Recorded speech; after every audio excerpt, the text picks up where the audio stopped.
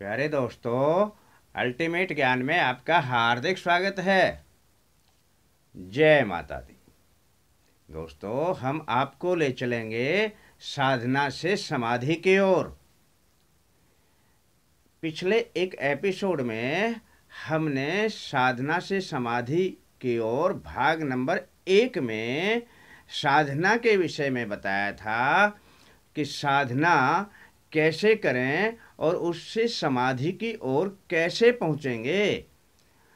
दोस्तों, साधना के बारे में आप जान गए होंगे, लेकिन जब तक आपको समाधि के बारे में पता नहीं चलेगा कि समाधि होती क्या है तो आप वहाँ पर पहुँचेंगे कैसे? जब किसी भी व्यक्ति को अपनी मंजिल के बारे में ज्ञात नहीं होता तो वह कभी भी अपनी मंजिल पर नहीं पहुँच सकता। तो दोस्तों, हम आपको बताएँगे कि समाधि क्या होती है। एक वाक्य है, एक व्यक्ति दौड़ता हुआ चला जा रहा था, दौड़ता हुआ चला जा रहा था कि एक गाड़ी से उसका एक्सीडेंट हो गया।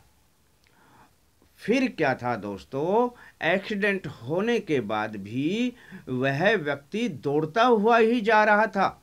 लेकिन कुछ दूर दौड़ते रहने के पश्चात उसको पता चला कि तेरा तो पीछे गाड़ी से एक्सीडेंट हो गया, पर तू दौड़ कैसे रहा है? बस वहीं पर वो रुकता है और वापस उसी घटना स्थान पर आता है जहाँ उसका एक्सीडेंट हुआ था।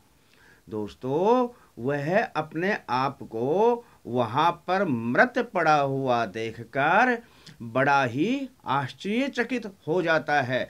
दोस्तों, वास्तव में दौड़ते हुए व्यक्ति की आत्मा निकल जाती है, जो कि दौड़ती रहती है।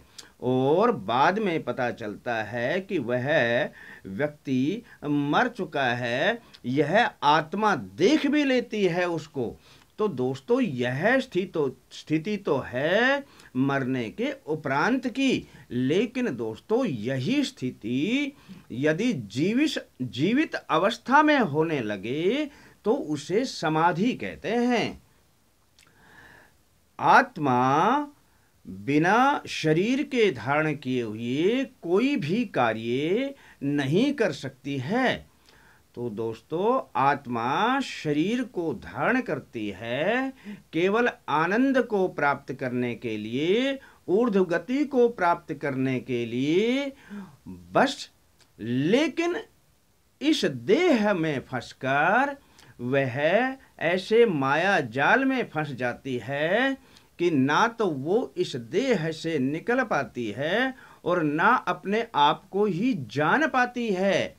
दोस्तों, इसी माया जाल में वो पूरे जीवन भर भटकती रहती है और अधर्मी हो जाती है, पतित हो जाती है, गलत काम करने लग जाती है।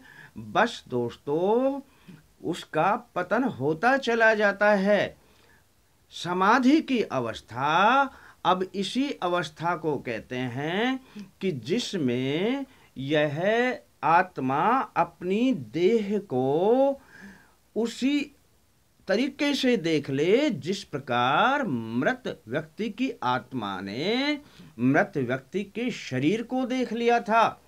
बस ये जीवित अवस्था में अपने शरीर को उसी प्रकार देखने लगेगी और जान जाएगी कि मैं आत्मा हूँ और शरीर अलग है। बस दोस्तों, उसी दिन से यह परमात्मा की ओर अग्रसर होना शुरू कर देती है, अपने आप को जान जाती है, फिर माया मोह के जाल में नहीं फंसती और यही स्थिति समाधि की स्थिति कहलाती है। तो दोस्तों, आपके पास साधन भी है, साधना का, और आपके पास लक्ष्य भी है, जिसमें आपको समाधि की ओर जाना है तो साधन भी है और लक्ष्य भी है। तब अब आप अपने लक्ष्य पर भली भांति पहुँच सकते हैं। तो दोस्तों अब हम आपको आगे बताएँगे कि किस प्रकार से अब साधना से आप समाधि की ओर जाएँगे और किस प्रकार से समाधि प्राप्त करेंगे, इसके लिए आप हमारा अगला एपिसोड साधना से समाधि की ओर भाग नंबर तीन देखना ना भूलें। तो दोस्तों कैसा लगता है?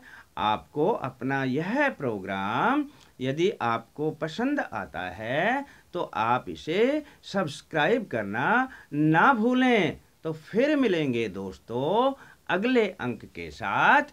तब तक के लिए धन्यवाद।